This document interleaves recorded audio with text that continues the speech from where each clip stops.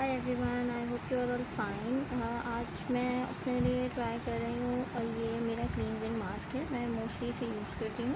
Uh, जब भी मुझे बहुत ज़्यादा एक्नी होने लगती है फेस के ऊपर ये मैंने एक ऑनलाइन फेसबुक के पेज से मंगवाया था। ज़्यादा कॉस्टली भी नहीं था रीज़नेबल था और ये काफ़ी वर्केबल था। ये कोकोनट का है क्लीनज़र और इसमें देख सकते हैं लिखा है कोकोनट क्लीनज़र और ये हर्बल हीलिंग एक पेज है। मैं अगर आप लोग चाहेंगे तो मैं शेयर करके आपको बता भी सकती हूँ। ये काफ़ी अच्छा टेक्सचर देता है। बहुत ईजी सा है। मैं बहुत ईजी इसे अप्लाई भी कर लेती हूँ। और जब आप उसको अप्लाई करेंगे तो इसको बिल्कुल आपको लगाते हुए ऐसा महसूस होगा कि ये कोकोनट से ही बिल्कुल बनाया गया इसमें स्मेल भी बिल्कुल इसकी आ रही होगी। चलें फ्रेंड्स अब हम आगे बढ़ते हैं। इसको मैं अप्लाई करने के लिए बनाती हूँ।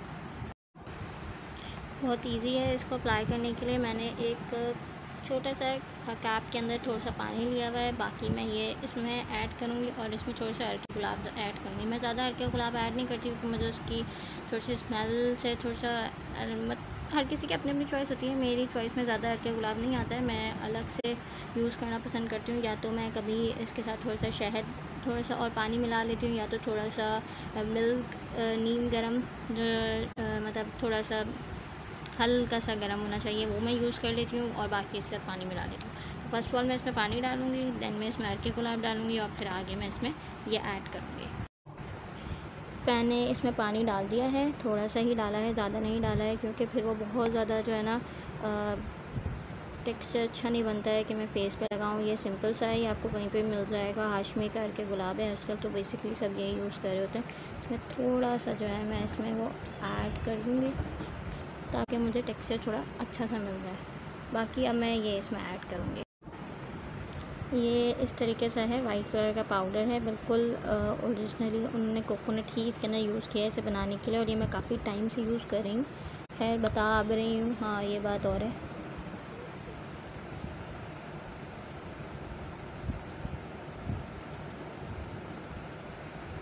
आप अपने फेस के लिहाज से जितना चाहो आप इसको यूज़ कर सकते हो।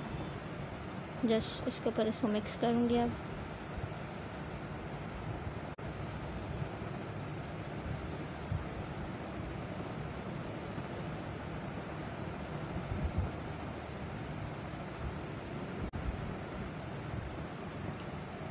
आप चेक कर सकते हैं, ये इस तरीके से होगा। और ये बहुत ज़्यादा पतला भी नहीं है और ना ही बहुत ज़्यादा गाढ़ा है, क्योंकि जब आप ये इसको अपने फेस पर लगाएँगे तो सूखने के बाद ये काफ़ी जो है आपके फेस के ऊपर हार्ड सा हो जाएगा और उसके बाद फिर जो है आपको इसको उतारना जब आप इसको फेस पे अप्लाई करेंगे तो उसके बाद ये हार्ड हो जाएगा और जब आप इसको फेस को वॉश करने लगेंगे तो उससे पहले थोड़ा सा फेस को गीला करके मसाज करना है देन उसके बाद ये आपने धो लेना और ये देखिए, ये तैयार है।